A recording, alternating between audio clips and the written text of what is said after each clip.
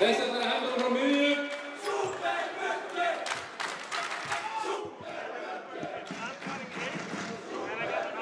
The back, somebody has to double team.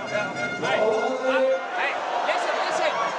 Just, just when Siki gets, Siki, when Siki gets back in, let's work with through a little bit the old goal. Lithuanian motion type. So goes through, open side with Siki. The three guys here. Okay, we got that. Lithuanian motion. A little bit. When Siki goes back in. Now. Next play. Next play. Let's give me, let's give me, let's give me this one. Axel. Uh, JP, uh, Soran, and Ty. Okay, so uh, Armar Eðar. Ty, give it to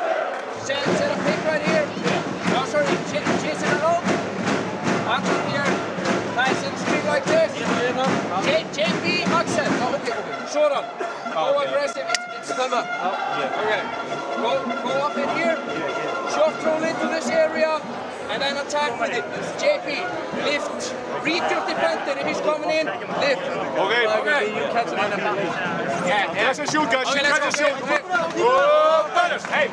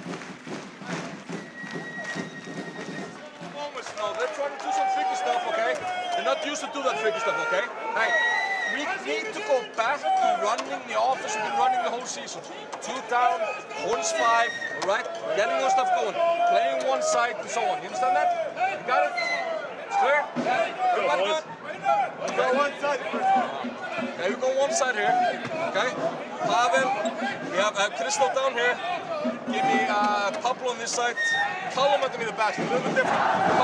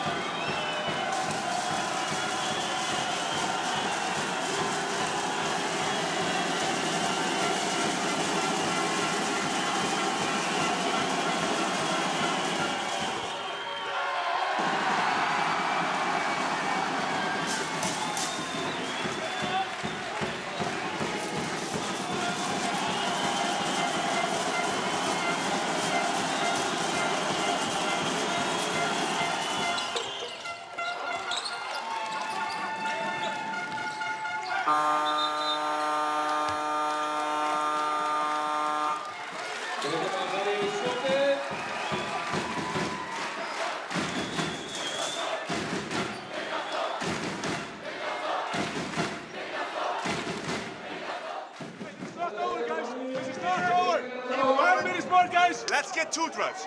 Out. Yeah, always taking the first shot. Let's take two drives because there's always going to be open.